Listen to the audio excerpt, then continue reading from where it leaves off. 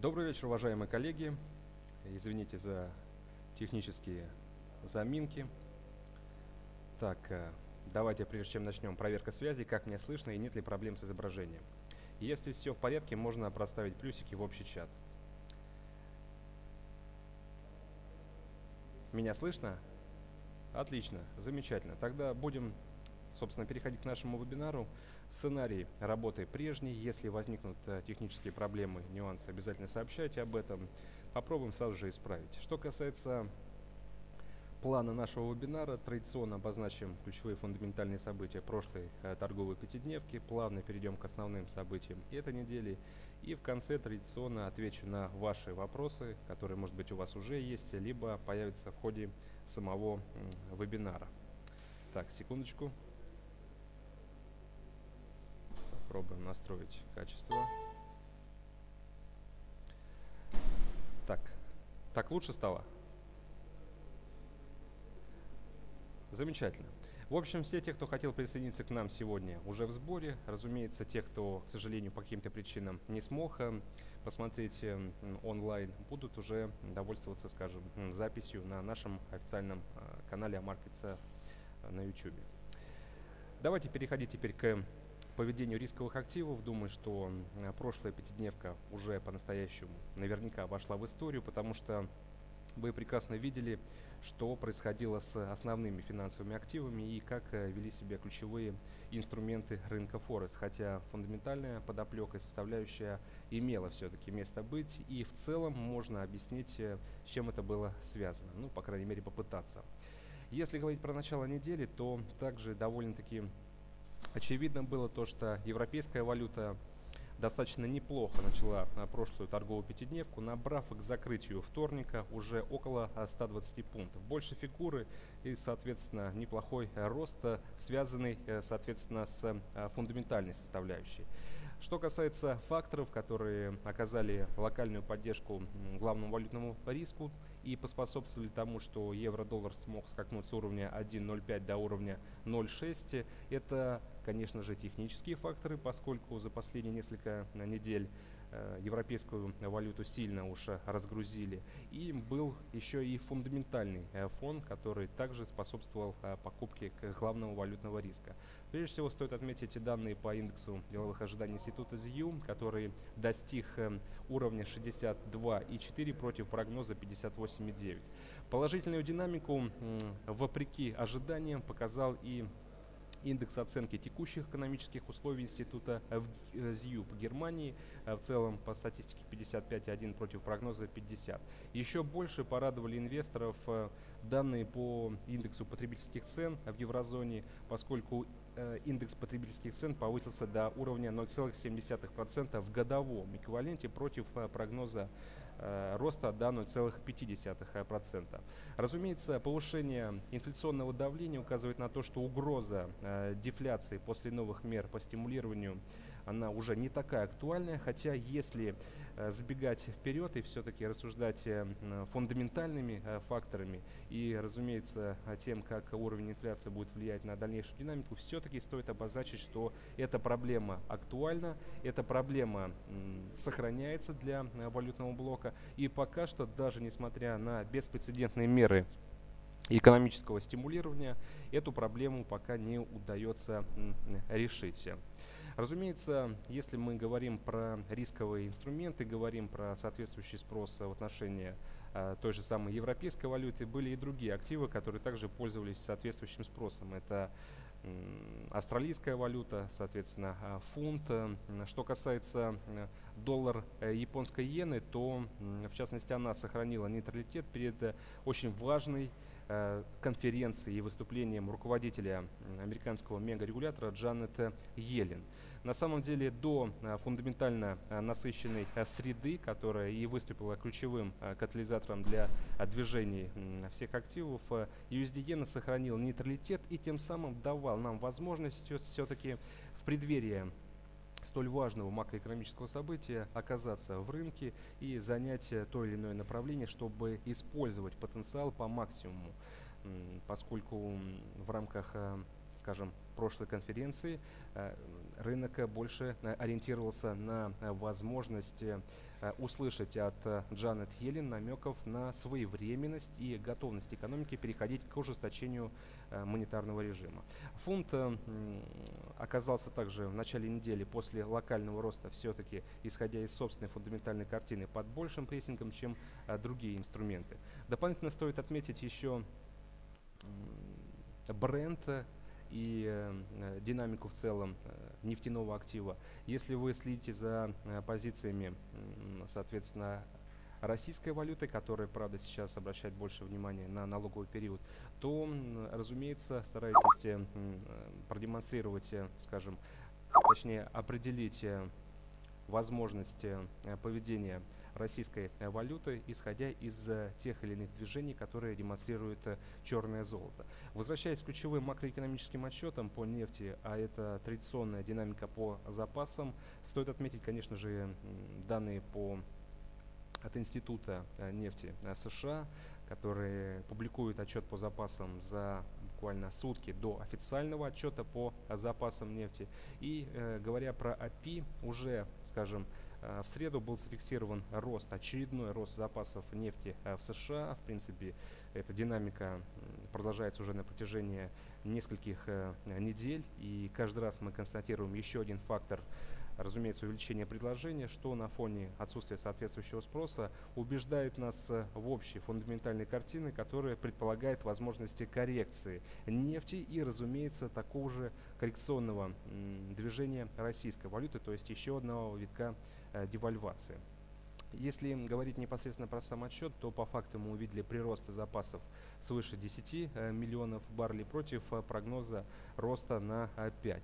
Логичной реакцией нефтяного актива, разумеется, стала коррекция, и мы видели, как бренд в принципе просел с уровня 54.18 до уровня 50 2.57. И в целом сейчас э, до сих пор сохраняется коррекционное движение, коррекционный тренд, который может быть, э, по сути, реализован в динамике актива практически в любую секунду. И, разумеется, также быстро может сказаться и на поведение российской валюты. В среду все внимание трейдеров э, и уверен то, что ваше тоже было направлено на решение Федерального комитета по открытым операциям на финансовых рынках ФРС США и, конечно же, на состоявшуюся после этого конференцию руководителя ФРС Джанет Йеллен. Ставку, как и ожидалось, оставили на прежнем уровне, а вот риторика Елен оказалась не той, на которую рассчитывали. Более жесткого настроя в заявлениях эм, Федерального комитета не оказалось. Наоборот, э, сохраняются возможности низких ставок э, в течение более длительного периода времени. В экономическом прогнозе э, в целом, говоря про дополнительные комментарии и дополнительный инфофон, который э, поступил по факту заявления Елен, можно было отметить еще и сохранение понижательных рисков э, в целом для американской экономики в связи с снижением темпов экономического роста всей мировой экономики. Риски есть, о них мы уже знали довольно-таки давно, и на самом деле, для тех, кто следит э, внимательно для, за макроэкономическим фоном, я не думаю, что это стало каким-то, скажем, сюрпризом либо откровением, поскольку американская экономика, она традиционно адаптивная экономика, разумеется, она отслеживает общие мировые экономические тенденции и э, проецируя, обозначая темп экономического роста национальной экономики, все это осуществляется с, скажем, с ориентиром на тот прогресс, который демонстрирует э, мировая экономика в целом.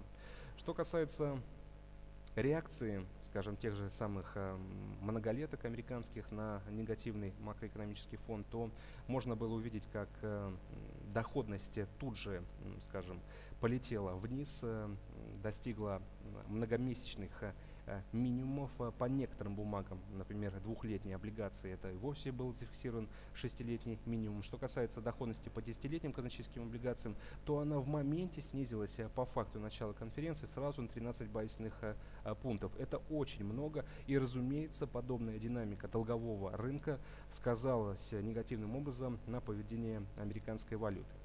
Председателем ФРС Джанет Йеллин также было отмечено влияние сильного курса доллара на экономический рост. И мы услышали те риски, которые традиционно обычно не обозначаются со стороны руководства, но тем более касательно американской экономики. Но сейчас эти риски были обозначены, поскольку Джанет Йеллен сделала особый акцент на конкурентоспособность национальных производителей и по причине на слабых экономических показателей, по причине роста доллара обозначила риски для конкурентоспособности как раз э, национального а, промышленного сектора. Очень важный нюанс, поскольку а, в целом данный э, комментарий Елен можно спроецировать на то, что Э, сейчас лучше уж э, в рамках э, американского мегарегулятора создавать условия для принудительного и сознательного ослабления доллара. Может быть, как раз этой целью и этой причиной руководствовалась Елен, когда обозначала те или иные комментарии, которые в конечном счете разгрузили позиции американской валюты. Но в целом динамика говорила сама за себя. Вы прекрасно видели, как американский доллар оказался из растущего актива, э, изменил статус на, разумеется, одного из главных рыночных аутсайдеров. Э, рисковые активы, напротив, пользовались активным э, спросом в связи с этим. Поэтому, если вы торговали по факту столь важного макроэкономического отчета, я очень надеюсь, то, что... Одну секундочку. Очень надеюсь, то, что, скажем, эти сделки принесли вам ту прибыль, на которую вы рассчитывали, и уж э, не сказались негативным образом на состоянии ваших депозитов. Но волатильности а, оказалась, э, по сути, исторической. Говоря про динамику а, пары евро-доллар, то пара, а, в принципе, с уровня 1.05, даже э, чуть выше она торговалась в этот момент, э, смогла скакнуть на 500 пунктов, э, достигнув уровня 1.1. Не отставали и другие рисковые активы, в частности фунт рванул выше уровня 1.51. Что касается австралийской валюты, там был обозначен ценовой ориентир, э, значение, которое также пало 0.7850. Что касается пары доллар-японская иена, то поскольку мы обозначили фундаментальные факторы э, слабости, соответственно, для американской валюты, то, разумеется, так, одну секундочку, попробую прибавить громкость микрофона, может быть, э, получится.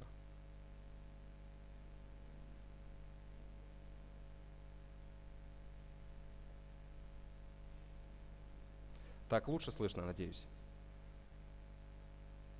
Вроде бы настройки изменил. Лучше слышно. Хм, отлично. Нужно было с самого начала, да. Хорошо, ладно, на будущее учтем.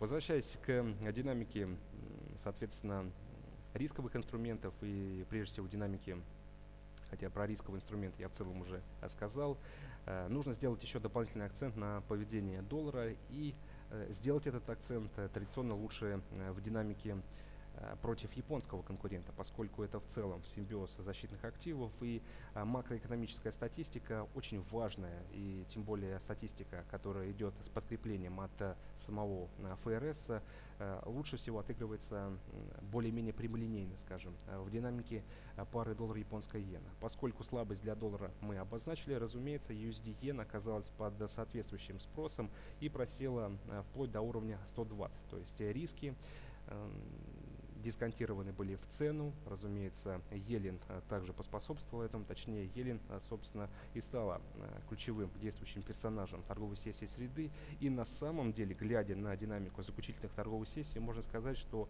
Елен, какие бы цели она не преследовала и какие, чьи интересы не лоббировала, справилась, разумеется, с возложенной на нее миссией. И если цель была ослабить американскую валюту, она сделала это наилучшим образом.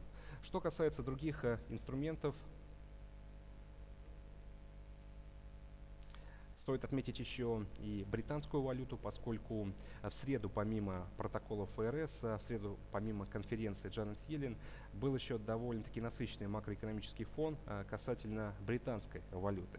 И можно даже сказать, что говоря про статистику, э, у нас была возможность проанализировать и данные по э, состоянию британского рынка труда. В частности, безработица в стране составила 5,7%, в то время как прогнозировали снижение до 5,6. Не добавило оптимизма в целом и голосование членов монетарного кабинета. Э, поскольку единогласно высказались против э, повышения процентной ставки и обозначили ряд серьезных рисков, характерных для британской экономики. В частности, дефицит бюджета может оказаться в районе 4% ВВП в 2015-2016 году. Думаю, что многие из вас э, отслеживают еще и наши ежедневные брифинги, и эти макроэкономические события, точнее на них мы стараемся делать, эм, скажем, более детальную, детализированную ставку и сообщать э, практически в тот момент, когда они появляются в средствах массовой информации и становятся, собственно, достоянием для э, э, всех трейдеров и инвесторов, которые отслеживают подобные события. Если обозначить также перспективы британской валюты, и тем более, если посмотреть на то, как ведет себя британец не только в последнее время, но и, к примеру, даже сегодня, на сегодняшней торговой сессии, Э, становится довольно-таки очевидно, что есть негативные факторы, есть серьезные обстоятельства, которые не позволяют британцу подрастать даже тогда, когда другие рисковые активы растут и когда создаются хорошие условия для локального оптимизма касательно рисковых инструментов. Но у британской валюты, у фунта своя, скажем, логика движений, и сейчас она больше определена, скажем, детальной, фундаментальной э, статистикой. Если, скажем, некоторое время назад мы действительно цеплялись за то, что британский мегарегулятор может оказаться чуть ли не первым среди развитых рынков, который пойдет на повышение процентной ставки, то сейчас акцент уже э, смещен Э, с возможности ужесточения монетарной политики на вероятность дополнительных мер экономического стимулирования. И в частности, на прошлой неделе монетарное руководство Банка Англии дало четкий сигнал, что если экономика будет нуждаться в этих стимулах, конечно же, они, скажем, поступят. Если говорить про поведение э, британца против доллара, э, в среду, то можно было увидеть, как пара достигла нового шестилетнего минимума 1.46 30, 46, 40. Примерно э, так. Откуда в четверг э, точнее к концу недели снова началось э, восстановление, но это уже и технические факторы по причине серьезной перепроданности актива. И это также еще, скажем, ведомость в отношении европейского актива, который традиционно задает общий тренд в динамике рисковых инструментов. И учитывая корреляцию с другими активами, такие инструменты, как фунт, стараются не отставать от европейской валюты. Теперь также хочу сделать э, снова акцент на нефти. Данные от Института нефти мы проанализировали в целом и остался, скажем, для анализа еще официальный отчет по запасам уже официального характера. Минэнерго США также опубликовали э, свой отчет о, о том, насколько были расширены запасы по итогам прошлой пятидневки. И здесь э, снова статистика, которая возвращает нас к общей фундаментальной идее и в очередной раз позволяет нам подготовиться к тому, что нефтяной рынок в целом это локальная фундаментальная бомба, которая может разразиться в любой момент нисходящим движением и еще больше коррекции. И чем ближе, скажем, эм, этот момент, э, потенциальная точка кипения экстремума, тем больше дополнительных э, новостных поводов э, появляется на рынке. Если недели назад мы следили за запасами нефти в США, то сейчас э, все больше комментариев идет со стороны ОПЕК, со стороны Саудовской Аравии о том, что они не собираются менять ежедневную добычу нефти, не собираются пересматривать квоту и не собираются никак помогать нефтяному рынку в плане разгона цен на главный энергетический ресурс. Поскольку эта риторика ОПЕК региона, который, в принципе, имеет потенциал, точнее, единственного региона, который реально может э, изменить э, общую ценовую динамику. И если это комментарий с их стороны, значит, э, не стоит надеяться на то, что, скажем, по причине избыточного предложения, недостаточного спроса, э, в ближайшее время ОПЕК пойдет на снижение ежедневной добычи и, соответственно, создаст условия для выравнивания спроса и предложения и в целом для восстановления цен на нефть. Нет, ни в коем случае. Пока надеяться на это даже не стоит. А есть э, серьезные, напротив, э, ожидания, и э, эти ожидания подкрепляются практически каждый день касательно того, что бренд WTI, буквально все сорта, нефтяного актива могут оказаться из локальных, скажем, активов, которые демонстрируют проторговку, в настоящих аутсайдеров.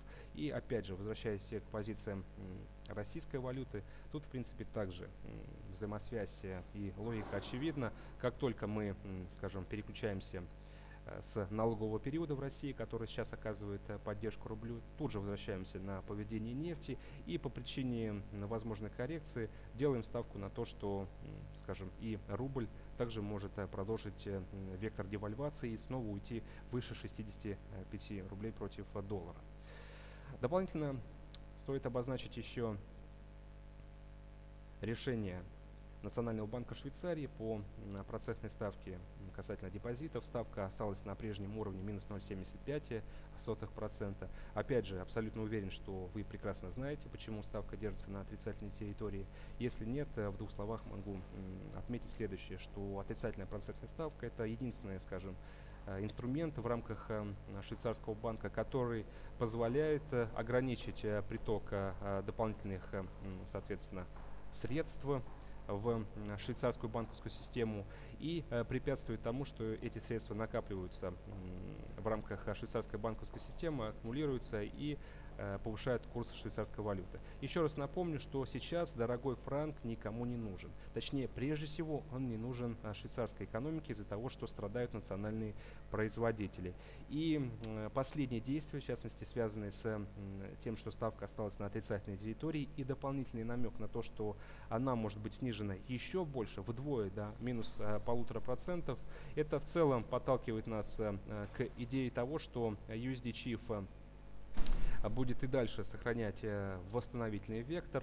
И э, в целом этот вектор будет обусловлен соответствующими действиями со стороны Национального банка Швейцарии по ослаблению курса их национальной валюты. И, разумеется, соответствующей поддержки для доллара в связи с тем, что мы по-прежнему ожидаем повышения процентной ставки.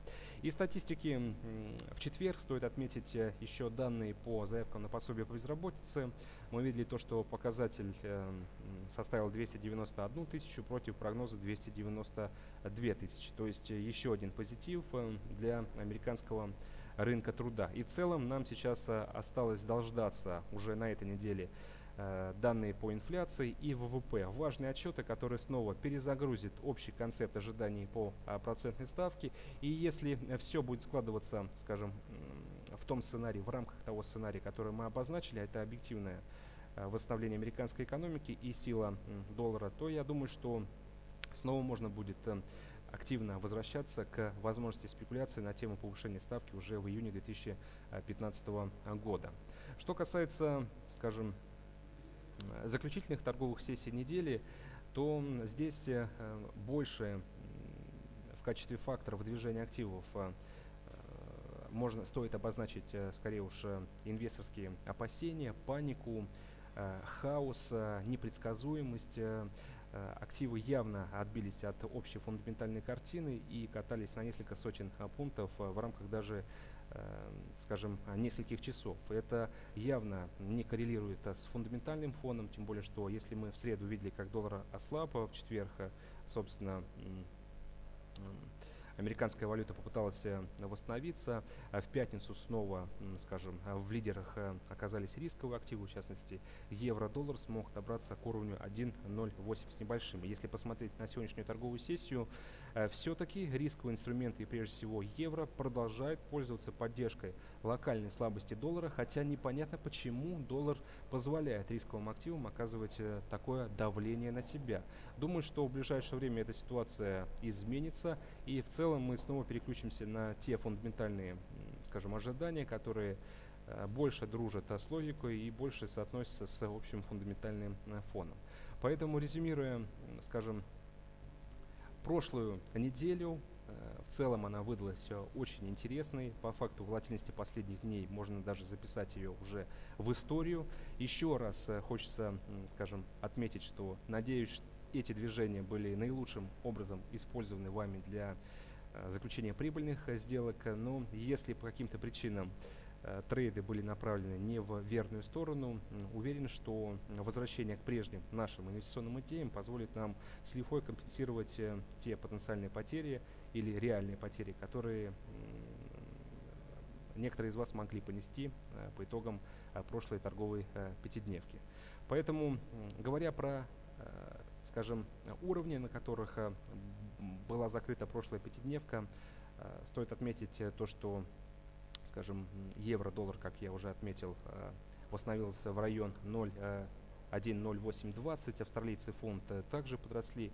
Что касается доллара японской иены, то э, пара скорректировалась примерно на 80 э, пунктов, закрывшись в районе 120 ровно. И в целом, скажем, именно с этого рубежа, с этой отметки, я думаю, что снова можно возвращаться к инвестиционной идее касательно покупки пары доллар-японская иена на э, тех ожиданиях, которые мы, в принципе, обозначаем из вебинара. Вебинары – это очевидный контраст монетарных режимов и ожидания все-таки ужесточения монетарной а, политики. Да, еще чуть было не забыл. Очень важно, что в пятницу из-за статистики можно было отметить еще Э, розничные продажи по канадской экономике отчет оказался очень плохим, но мы не увидели логичной реакции канадца по факту слабого макроэкономического отчета. Напротив, э, канадская валюта даже укрепилась против американского доллара.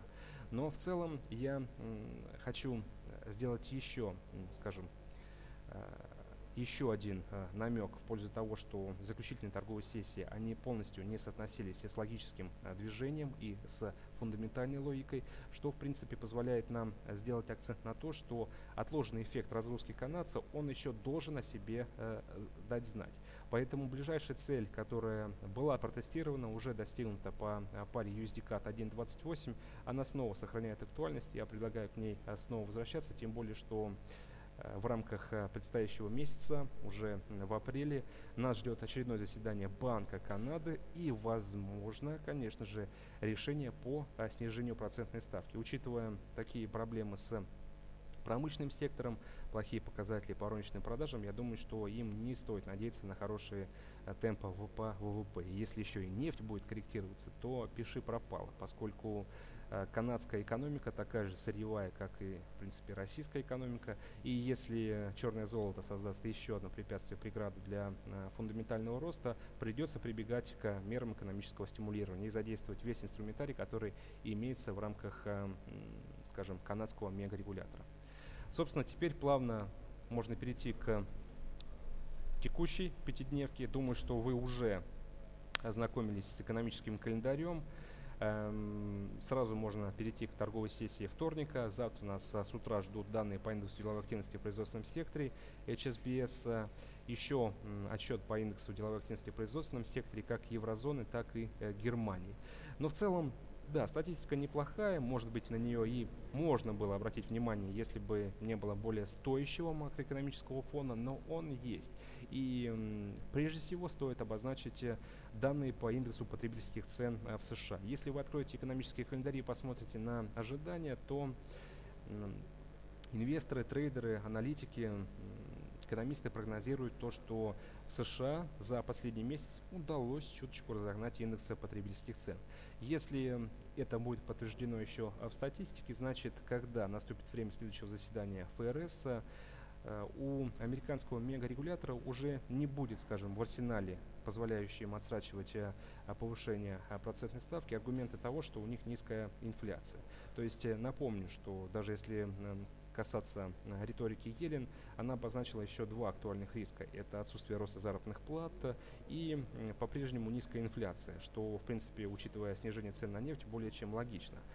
Поэтому, если индекс потребительских цен по факту окажется лучше прогноза или, по крайней мере, совпадет с прогнозом, поскольку прогноз у нас предполагает уже э, состоявшийся рост, я думаю, что можно будет смело возвращаться к идее того, что американская экономика готова к тому, чтобы услышать от собственных монетарных властей э, конкретику по э, повышению процентной ставки. Может быть, э, это произойдет еще не в самое ближайшее время, но в целом у нас есть приблизительные сроки, и мы продолжаем спекулировать на тему, когда же все-таки на рынке появится это событие, заставляющее трепетать буквально всех, поскольку все прекрасно понимают, что как только ФРС повысит процентную ставку, волатильность будет аховая. Волатильность, которую еще не видели финансовые рынки. И это касается как рынка Форекс, так и а, фондовых площадок. Следующий день. Наверняка вы заметили то, что я пропустил торговую сессию среды.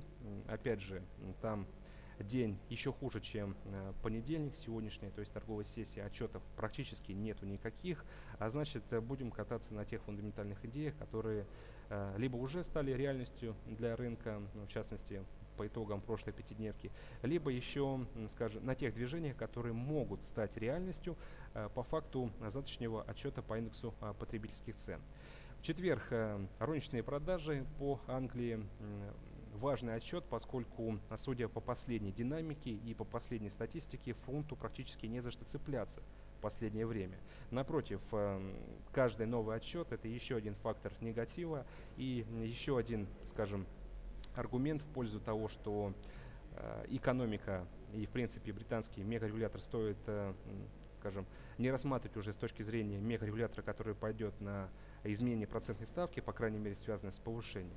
А если нет, э, то, разумеется, фунт лишился самого важного фактора поддержки, на который еще некоторое время назад он, скажем, мог рассчитывать. Но сейчас, э, как показывает э, уже э, реальность, как показывают факты и действительная статистика, британский э, мегарегулятор и британская, британский мегарегулятор с точки зрения решения, а валюта с точки зрения реакции на эти решения является, скажем, весьма предсказуемым центральным банком мира, а британская валюта является и точнее остается одним из ключевых аутсайдеров. Если вы ищете потенциальную точку для покупки фунта, я советую вам повременить с этим, потому что коррекционное движение британского валюты даже против всех основных э, инструментов, оно еще не э, исчерпано. И, собственно, торговая сессия пятницы, второй важный отчет э, этой недели. Первый у нас индекс потребительских цен э, по США, и второй это годовые данные по ВВП в пятницу в 15.30 э, по Москве. Заключительным, скажем, отчетом, аккордом недели станет индекс потребительского доверия Мичиганского э, университета. Но в целом основные движения уже пойдут до публикации данных по ВВП, потому что, э, учитывая последние данные, учитывая последнюю статистику, я уверен, то, что было создано достаточно оснований для того, чтобы американская экономика могла хвастаться достойными темпами экономического роста и, разумеется, оказывать соответствующую поддержку для доллара. Но, по крайней мере, с этой логикой трудно поспорить, э, поскольку статистика действительно очень неплохая и самое время пользоваться а, фундаментальными возможностями. Разумеется, не нужно паниковать, не нужно расстраиваться, не нужно, скажем, менять свое позиционирование, если вы видите то, что прежняя инвестиционная идея, которая была в достаточной степени, скажем, проанализирована, озвучена, подкреплена фактами, статистикой, не стоит менять позиционирование и, скажем, разворачиваться с потенциальных покупок на продажу, поскольку появились факторы, указывающие на то, что есть больше оснований дождаться коррекции. Нет, это может быть э, роковой ошибкой, поскольку э, в целом э, те идеи, которые мы с вами анализируем из недели в неделю, они имеют в себе четкий анализ, четкую фундаментальную, четкое фундаментальное основание. И, эм, скажем, до тех пор, пока мы в рамках даже наших брифингов и вебинаров э, действительно не сможем сказать, что все, у доллара нет поддержки, значит, э, нужно уже искать э, возможности для того, чтобы продавать американскую валюту и делать соответствующие фундаментальные ставки на рост рисковых инструментов. До этих пор не нужно менять позиционирование, а нужно, напротив, ждать и четко, скажем, верить в то, что потенциальная прибыль от тех сделок, которые, может быть, вы уже заняли по ряду финансовых активов, это может оказаться достойным результатом, который непременно нужно будет э, использовать и результат которого стоит дождаться. Теперь, собственно, ценовые ориентиры по основным валютным инструментам евро-доллар, аут USD, USD иена и фунт доллар. В принципе, в целом это ослабление рисковых активов и рост американской э, валюты. Поэтому Можете их записать, э, придерживаться в рамках э, этой пятидневки, добавлять к вашему собственному видению рынка и в целом формировать более емкое э, фундаментальное инвестиционное решение. Поэтому теперь можно переходить к вопросам.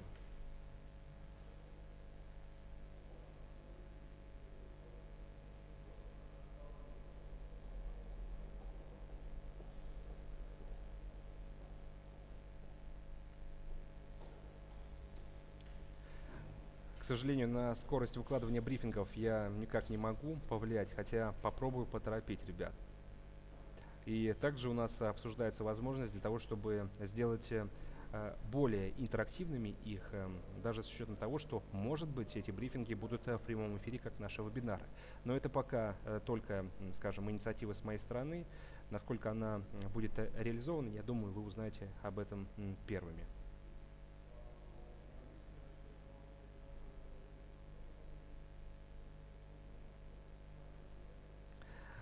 Что касается индекса потребительских цен, думаю, что э, нужно посмотреть, э, скажем, в разных временных интервалах, скажем, этот отчет. И в месячном, годовом, там есть коррекция еще сезонного характера, есть абсолютные показатели, относительные, Э, даже если вы э, посмотрите, скажем, э, весь перечень этих макроэкономических отчетов, например, на FX3, вы сможете увидеть, что в целом аналитики прогнозируют в качестве консенсуса повышение этого показателя.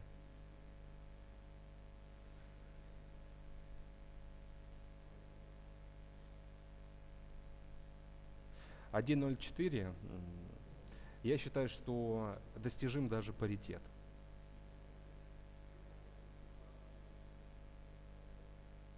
Что касается повышения планки государственного долга, как только эта тема станет актуальной и интересной для рынка, может быть создадутся какие-то негативные факторы, которые можно дисконтировать в слабости американской валюты, мы обязательно все об этом расскажем, скажем, в ходе наших брифингов, либо вебинаров. Пока еще смещать акцент на это событие рановато. FX Street. Это сайт с календарем. Так.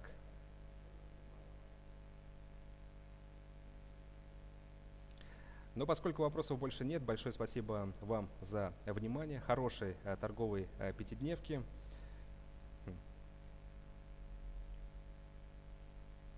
Я не могу, конечно же, судить о ваших горизонтах инвестирования, но учитывая то, что где пара торгуется сейчас, и учитывая а, сохранение фундаментальной слабости, я думаю, что все-таки европейской валюте стоит дать время для того, чтобы она смогла достигнуть этого уровня. Как вам конец этого года?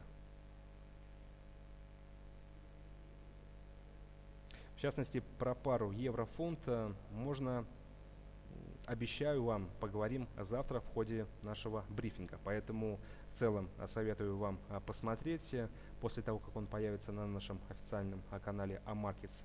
И мы дадим конкретные цели, ближайшие ориентиры по этому активу с учетом текущего фундаментального актуального фона. Вполне возможно, может быть и раньше. Все может быть.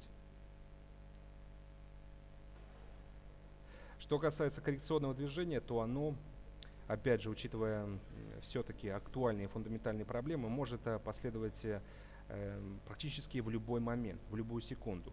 Э, сегодня у нас выступление Драги, по сути, уже началось, в 14, да, уже идет. И в целом, после того, как пройдет эта конференция, после того, как будет сформировано определенное ожидание по факту его речи, можно будет уже говорить о дополнительных э, инфоповодах, связанных с европейской программой количественного смягчения, поскольку он непременно будет э, говорить э, о ней.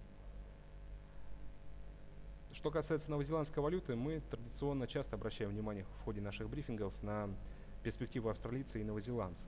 Я думаю, что чтобы создать больше интереса, давайте тоже отправлю вас на наш следующий брифинг, и мы также коснемся снова и австралийца, и новозеландца. Обещаю.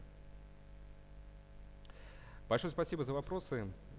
Тогда жду вас э, уже на следующем вебинаре, в следующий понедельник. Ну и, конечно же, смотрите наши брифинги. Можете задавать ваши вопросы не только мне непосредственно в ходе вебинара, но и оставлять еще на нашем официальном канале, поскольку мы все вопросы стараемся осветить и найти на них ответы.